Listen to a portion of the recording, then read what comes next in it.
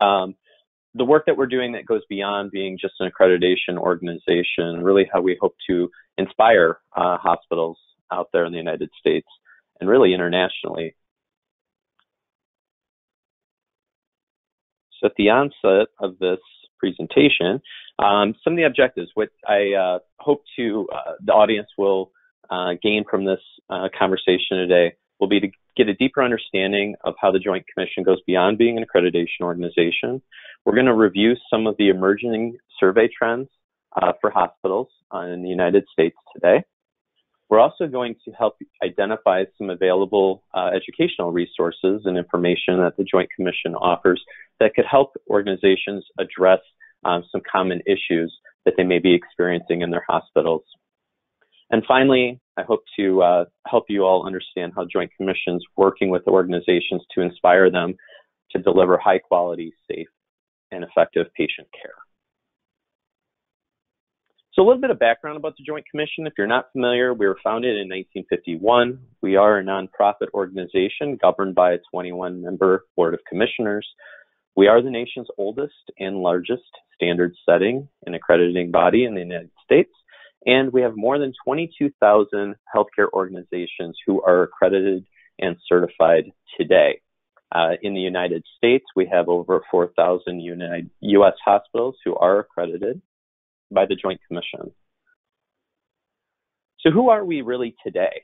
Um, the Joint Commission prides itself on being an improvement organization. We're focused on healthcare for the public. Our mission and the two words I really like to focus on is that we like to evaluate and inspire healthcare organizations to excel in providing safe and effective care of the highest quality and value.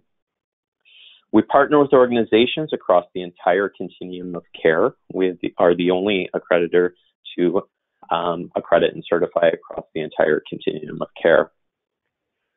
And we go beyond accreditation as an improvement organization uh, creating and delivering solutions uh, that would help organizations in advancing quality and safety improvements in their organization. We're going to talk a little bit today about some of those tools that uh, the Joint Commission offers uh, complementary uh, to accredited organizations.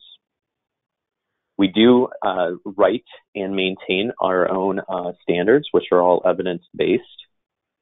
And we are continuously using Lean Six Sigma and change management methodologies within our own organization to see how we can continuously improve our own business and the work we're doing. And finally, the Joint Commission has been on a uh, initiative and leading the way to zero harm. So creating that vision for high reliability in healthcare today and providing a roadmap for organizations to get there. I want to start a little bit about uh, and share a little bit with uh, how the Joint Commission is um, advancing um, their efforts in advocacy. Um, the Joint Commission uh, does work on a daily basis on Capitol Hill in working in um, regular healthcare topics. Um, we do work with um, and regularly interface with many governmental agencies that go beyond just CMS. Uh, we've also done a number of uh, advancements in uh, ways that we can inspire um, organizations to improve quality and safety. We have our own advisory groups that we work with on a daily, weekly, monthly um, initiative uh, to to advance healthcare as well, and to gain voice the customer and feedback from uh, organizations. There are a number of professional associations that the Joint Commission works with, um, and we've also developed and maintained some exclusive payer relationships with some quality incentive programs of our disease specific care um, certification programs. And one thing we really have liked uh, recently is we do uh, more in advancing our work with state hospital associations. So, how we can work with uh, your state hospitals to provide education and resources that they would see um, to be most beneficial to the hospitals, uh, whether accredited or not accredited, by the Joint Commission um, within their re- respective states. So, a little bit of background about the Joint Commission's um, survey process. Uh, in 20, 2016, uh, the Joint Commission uh, changed their survey process in uh, using what we call a SAFER matrix. So the grid to the right-hand side of the screen uh, displays our SAFER matrix. This is how we give a visual representation of survey findings um, after the close of an on-site survey event. So we've had a complete shift in how our survey um, is focused. It's completely uh, looking at a risk assessment, risk identification within organizations.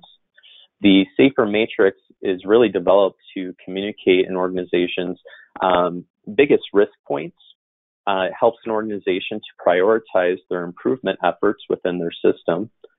And then it can be used as an inter- internal comparison tool uh, for your health system as well. So there's a lot of information and data that uh, the Joint Commission provides in these areas. We're going to, to dive a little deeper into that as we further the discussion. But it's not just how Joint Commission is providing that data to organizations, but also how your organization can use it across your entire system uh, as a comparison tool. Our on-site survey evaluation also in, in discussions with how our surveyors uh, differentiate. Um, our surveyors are all, um, they have very um, extensive uh, background in education and they have uh, numerous ongoing uh, continuous education initiatives. Uh, they're all trained in some form of Lean Six Sigma um, and process improvement um, initiatives. Uh, the approach and what we've uh, really sort of prided ourselves on um, recently is uh, being very data driven in the on-site survey process. It's very specific to your organization and it's also patient centric. Um, our surveyors are also selected based on the background of your organization. Um, our surveyors do also have um, they're selected based on their educational background and their expertise. Um, so some of those areas could be um, in the pediatric, the oncology uh, world, as well as uh, we do employ um, psychiatrists as well for psychiatric hospitals. And another point to um, really uh, speak about here is how the on-site survey process is also engaging organizations on their own journey in high reliability. So really having the surveyors speak with uh, your leadership and staff about um, your own efforts internally on advancing quality and patient safety as well. So now we're going to talk about some of the most common areas of risk that hospitals are facing today. This is data that we've actually collected through our on-site um, survey process. So this is data that was collected through from January 1st to 2019 through June 30th of 2019. And these were for strictly hospital surveys uh, from the Joint Commission. So the, our SAFER matrix really depicts um, risk in organizations as well as the um, likelihood to harm a patient. So uh, sort of how this grid uh, works is your lower left-hand corner, the yellow um, box um, would speak to what percentage of findings occur um, in what we call a low limited uh, category. So the scope of um, it impacting a hospital would be in a limited capacity. Maybe it's contained to a unit or department within your hospital, um, and it's not in a uh, widespread fashion. Um, and the um, the likelihood to potentially harm a patient or staff um, would be um, the other side of your access um, of your grid here. So if you move up into the upper right hand box of this of the uh, sort of the nine box grid here, you can kind of get an idea of where placement of findings occur in hospitals, at least for the first six months of the year in 2019. So if we dig a little deeper into our most frequently cited um, standards and elements of performance, um, this is sort of our top 10 list of frequently cited standards um, within the hospital program today. And really the way to read this is um, looking top down what the most frequently cited standard is and what the most um, common issues are that organizations face today. I've put a little um, box here on the right hand side that would um, within a few keywords give you an idea of um, what these areas are that um, organizations um, find most challenging today. And the way to read it would be um, in terms of likelihood to harm um, or where they fall within that nine box grid. That's how the color scheme advances as you move left to right. And the total number of surveys uh, where you would have a likelihood to harm versus a low limited um, sort of finding. This is something Joint Commission provides very regularly today. Um, I would say that the Joint Commission has um, advanced their efforts in the use of analytics and data. So, how we're using this data to uh, proactively um, share with organizations, um, all accredited uh, organizations do regularly receive this sort of update. Uh, we provide this as a way for organizations to stay uh, ready for their uh, surveys and just to show them what are some of the common trends that are occurring in U.S. Uh, hospitals today. I did want to provide uh, just an example, a few examples in our presentation today of what we consider to be um, a sample a survey observation.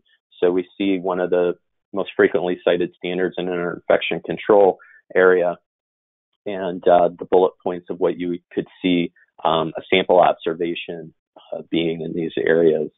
So one of our most common, commonly cited standards and elements performance are in the areas of high level disinfection and sterilization.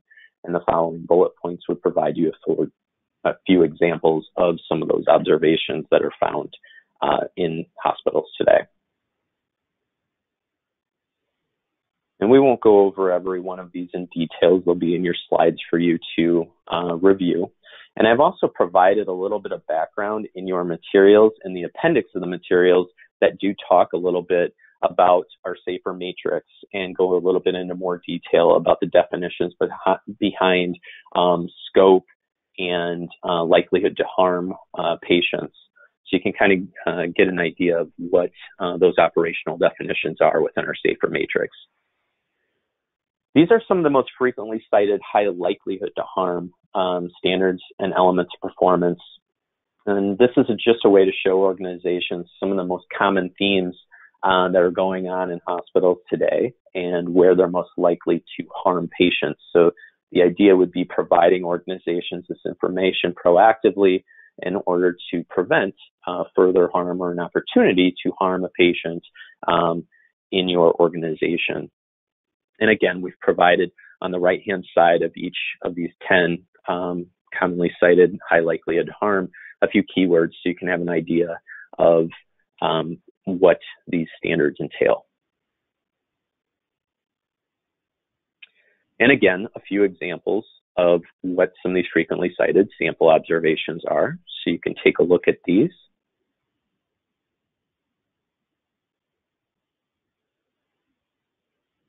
And I've separated some of the most commonly cited standards and elements performance um, from a clinical standpoint to an environment of care and life safety code standpoint. So the, the slides that preceded these were uh, strictly clinical standards and um, elements performance. Now we're looking at the environment of care and life safety uh, components within your hospital setting. Uh, so what are some of the um, the issues that you're facing from a building standpoint? The Joint Commission does employ and uh, send uh, life safety code specialists and engineers to all of our um, hospital surveys and they look specifically at those two chapters of standards so you can have an idea of what the top 10 frequently cited standards and elements of performance are in the environment of care world. And some similar to uh, previous slides, some examples of what those observations are today.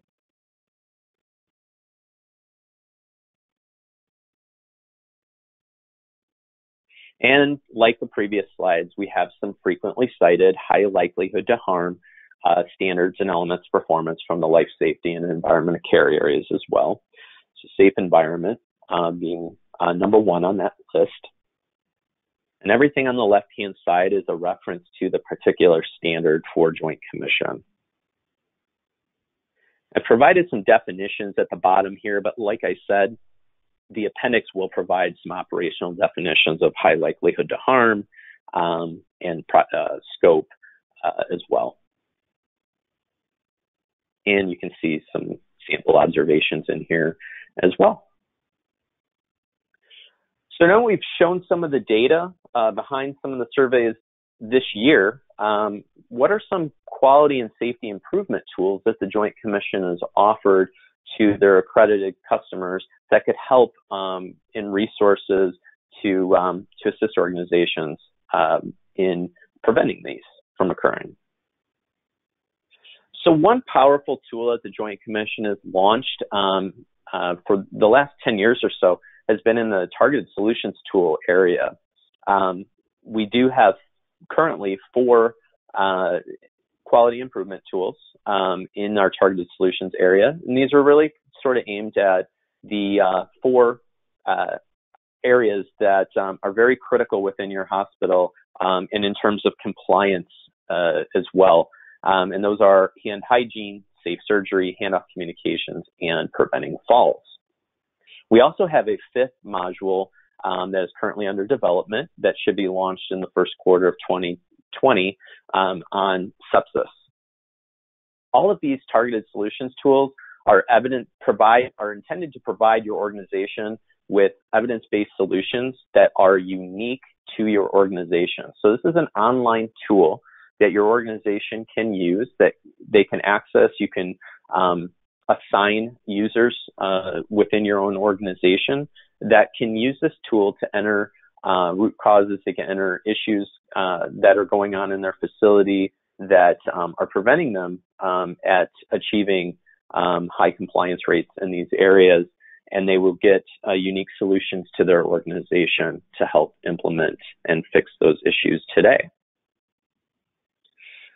So what I did was took one of the tools, the targeted solutions tools. This was the preventing falls tool and um, a little bit of data that went behind this. When the Joint Commission was developing these tools, we did use Lean Six Sigma um, and change management methodologies to develop these tools um, to provide to organizations.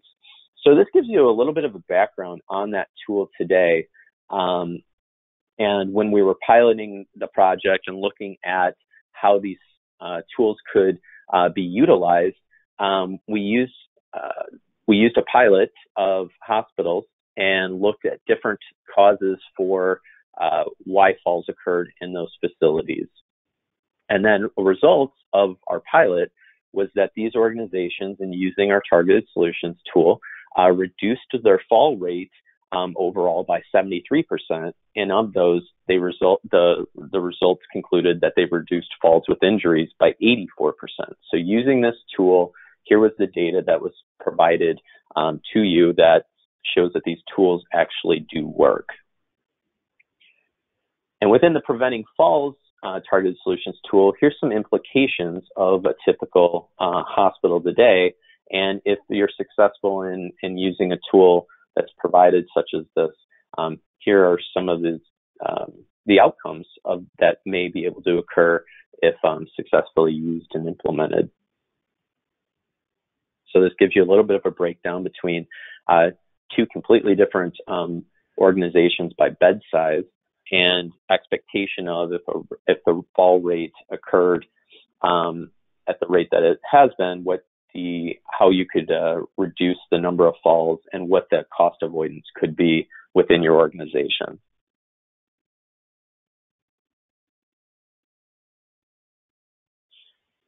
So here are all the targeted solutions tools um, that I spoke about. And from these projects, the results of each of these um, tools through pilots uh, with organizations um, are provided in the right-hand column. Our hand hygiene uh, targeted solutions tool uh, resulted in an increase in compliance by 71%, handoff communication uh, failures decreased by 50%, 56%.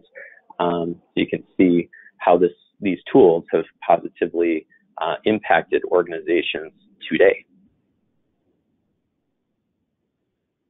Some other re- educational resources that we provide organizations. There are a number of resource portals that are out there for organizations uh, today. These are actually available uh, to the general public through our website. If you um, follow the topics page of our website, you'll find uh, these portals today. So particularly one I like to highlight is a new suicide prevention portal that the Joint Commission launched in the first quarter of 2019. Um, very important to um, take a look at that. There's a resource compendium that the Joint Commission has uh, put together that is there for organizations to use as an additional resource. Um, the Joint Commission also provides a number of newsletters and communications to organizations organizations today, and it's really geared at some of the most important um, quality and safety issues in organizations. Our quick safety and sentinel event alerts are two very common um, communication methods the Joint Commission uses today um, to help your organizations um, stay up to date on work that Joint Commission's uh, doing in those areas, as well as um, hoping that your organization is raising awareness of org- in organizations as well. These are some of the resources that Joint Commission offers today in some of the most common hospital acquired conditions. So the left-hand column would provide you with some of the most common hospital acquired conditions, uh, followed by a uh, middle column, which are the actual resources Joint Commission offers to combat or prevent these um, these issues from occurring in your organization.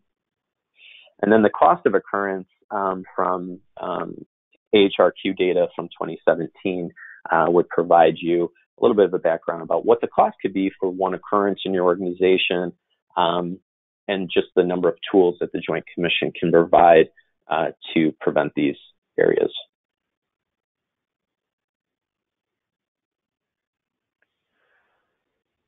I also want to touch base today on talking about how the Joint Commission has advanced efforts in making the healthcare world a more highly reliable industry. So, our president and CEO, Dr. Mark Chassin, had an article in the Milbank Quarterly in 2013 that you can uh, find called High Reliability Healthcare, getting there from here. Um, so, there's a little bit of a reference here in the slides. And I encourage everybody to um, take a look if you have not seen this article before. Um, so, what does transforming healthcare into a higher reliability industry look like? Well, the Joint Commission's Leading the Way to Zero campaign is really aimed at um, helping organizations get to zero falls or complications of care, or really any lost opportunities per, to provide exemplary care within organizations today. And also looking at ways to reduce or eliminate harm to staff and visitors of your hospital as well. So the Joint Commission's higher reliability model is sort of made up of three pillars. Um, one of those is your leadership's commitment to the goal of zero harm. Another would be your organization's safe adoption of a safety culture. And finally, some form of process, robust process improvement, um, Lean Six Sigma tools, change management tools, something to help your organization advance in those areas today. So this is sort of the model that uh, the Joint Commission has employed in highly high reliability.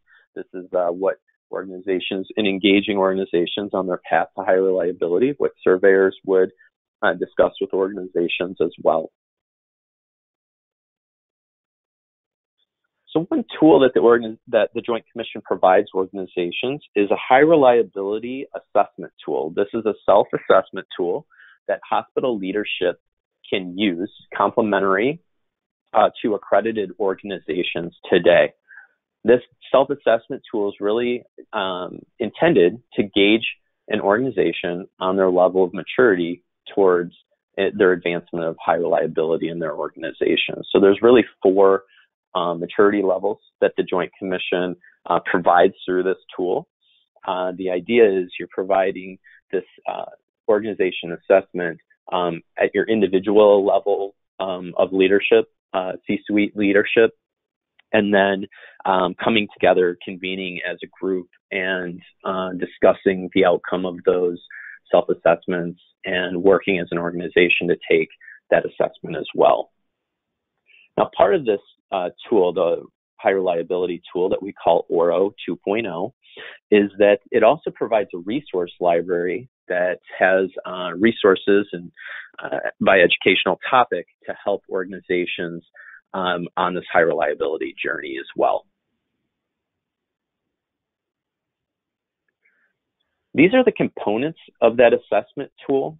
So of the three sort of pillars of leadership, safety culture, and robust process improvement, these are sort of the areas of um, by topic that uh, the assessment tool will take you through.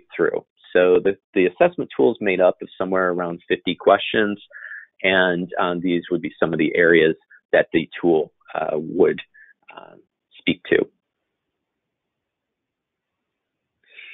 Now getting into the appendix, there's a number of uh, resources that I've also put in here, a few that I would like to just point out. So I did give an overview of the Joint Commission as an enterprise. The enterprise today is sort of made up as three uh, organizations. You have the Joint Commission, Joint Commission Resources, which provides our uh, publications, e-products, uh, continuous compliance uh, sort of tools, and then our Center for Transforming Healthcare, which develops high reliability tools such as the um, ORO 2.0 uh, high, re- high reliability assessment, our targeted solutions tools, um, all of these uh, complementary resources that we provide organizations to advance uh, quality and patient safety efforts in their organization today. As an enterprise, we we all share one vision um, within the organization, so you can see um, sort of how the enterprise is, is made up and how we touch across the entire continuum of care. I spoke about that earlier. Um, but there are a number of certifications that um, reside within each of our accreditation programs too. These certification programs are specifically targeted to a, a program um, in our disease specific care uh, program. They will uh, they're there to work um, within a specific disease, condition, or a procedure. Um, so it's really uh, specific to uh, your organization or within that program.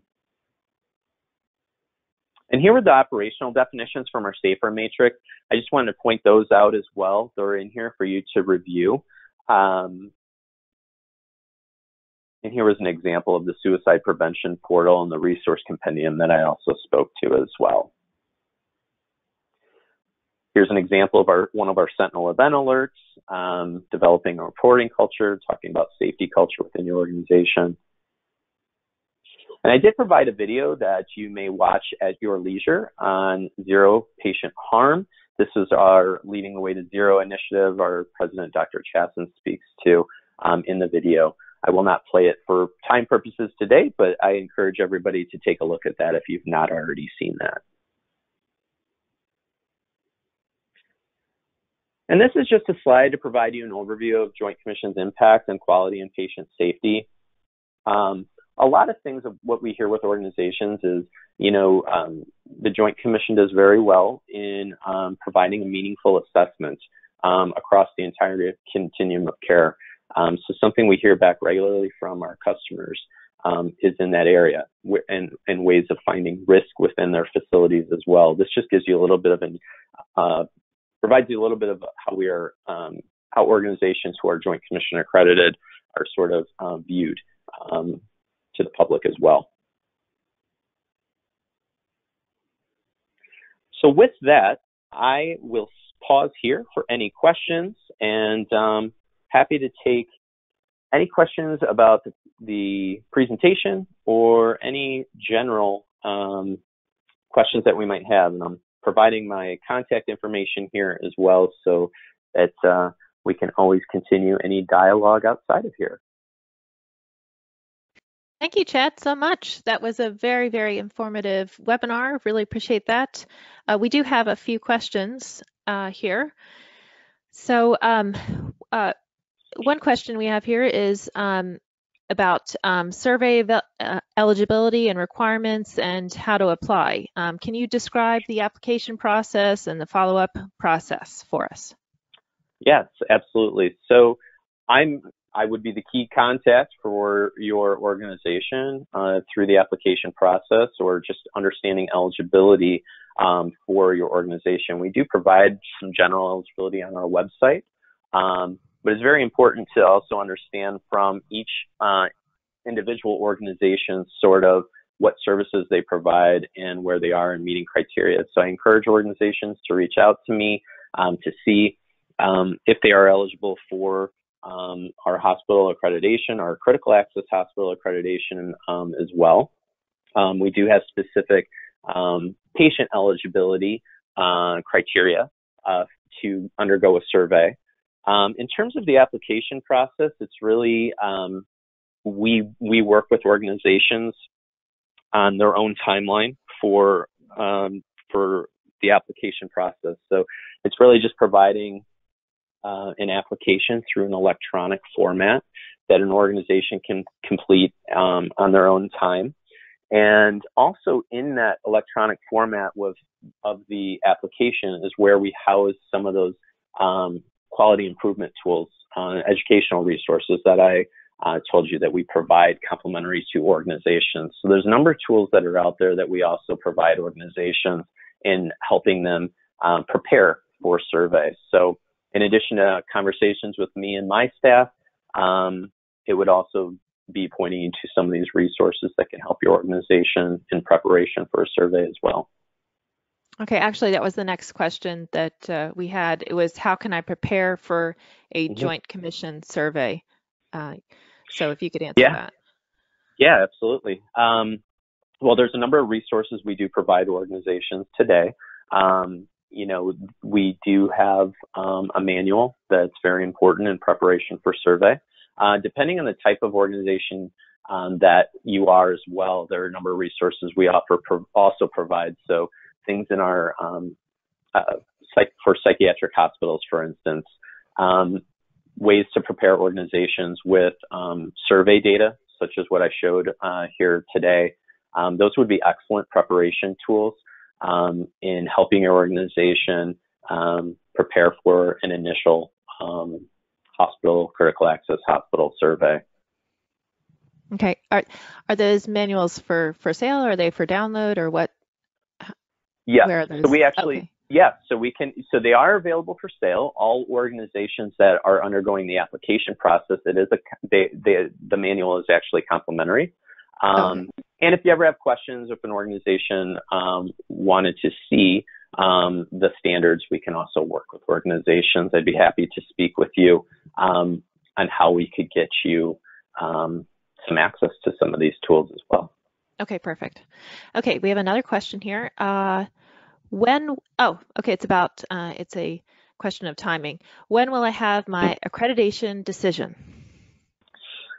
Yes, good question. Um, so a lot of this is really built on an organization and their readiness for survey. So um, I like to work with organizations on their own timeline, and we sort of work backward from when they would like their accreditation decision um, to be in place. So um, you know we uh, we really work on an organization's um, sort of timing for a survey. Um, I typically tell organizations to build a couple of months into the post survey process. So it's the work that is done after um, the survey has taken place um, to fix any corrective actions um, that are required in order to obtain your accreditation. I typically uh, will guide organizations to provide, you know, to give two or three months in that timing um, as well. Um, so we really work backwards from when the accreditation decision um, when they would like the accreditation decision, and um, we can sort of build a time frame of when the application can be submitted and all the, the follow-up work and the preparation um, going into the survey as well. Okay. Okay, here's another one. Uh, are successful surveys achievable for organizations with no knowledge of or who have not worked with the Joint Commission in a very long time? I would say yes. Absolutely. Um, the preparation is what's key and what's important. And um, oftentimes, what I, um, when speaking to organizations that have um, no knowledge or have limited knowledge or have not worked with the Joint Commission for um, for a certain period of time, um, I think there's sometimes a little bit of concern over the readiness of their organization. I can assure you that um, we love to work with organizations in this process and help them understand it. That's what we're here for. um, guiding them in any questions that they have. We also have a standards interpretation group. Um, we post a number of frequently asked questions on our website. Um, those are really great resources that organizations can use today um, in uh, preparation for a survey if they have questions about um, their own compliance um, in a particular standard as well. It's very achievable. Mm-hmm. Okay. Um, I, yeah, I would I would assume it's uh, very achievable with a lot of preparation and working working directly with you and your organization. Absolutely. Um, okay. Uh, here's a good question. Uh, the average cost for accreditation. Yes. Yes. So cost is really dependent on the type of organization and the size. Um, it's it would be hard to pinpoint with every organization um, that might be listening today. Um, cost could be completely um, different depending on how uh, how large an organization is. Um, fees are typically um, built into really two components. The Joint Commission has an on-site survey fee that is um, billed at the completion of an on-site survey. So organizations, hospitals that go through a survey would be billed for that on-site survey once every three years. And there's a separate fee for Joint Commission um, that we call an annual subscription fee. That annual fee is determined on um, the size of your organization as well. And there are a number of uh, uh, things that are part of that annual fee, but the complimentary resources and tools that are provided to your organization um, would be considered part of the annual subscription fee. I should also make note that the Joint Commission offers a dedicated account executive for each of their organizations. This individual works as a liaison to your organization, so they're um, available to you at any time uh, to um, to kind of guide you to any questions that you have as well. Um, those are considered part of your um, annual fee. Wonderful, great. Well, uh, do you I'd be have happy. any other... And I, Great, sorry. No, I would just say in terms of price, if you ever have any questions about um, for unique to your own organization, I'd be happy to take those questions as well. Wonderful, great. Well, thank you. Um, do you have other any other words of advice or any any other thoughts that you might have uh, thought of uh, here that you wanted to leave us with or advice? I would just like to reiterate the Joint Commission's um, really efforts to um, advance um, safety within uh, hospitals today. Um, you know, I think what the Joint Commission is doing with um, the worst, the work that they're uh, doing with the analytics and um, the survey findings and how we've advanced the survey and identifying true risk points, I think have really become of value to organizations today. We hear um, quite often how the survey process has transformed over the years, and um, organizations really um, find value today in uh, the SAFER matrix, and it helps organizations really um, understand what their survey um, outcome has looked like. Um, it helps them better prepare for future surveys. And then also the way that we've um, provided this data, the transparency that we provide organizations um, now in preparation for survey um, only uh, helps organizations um, along the way as well.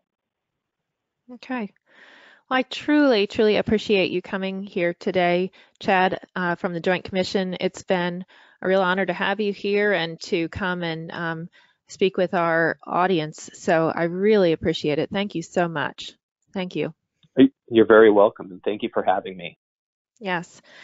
Well, and thank you, attendees, for um, coming and listening as well. Uh, please use the contact information on the screen for any additional questions that you might have.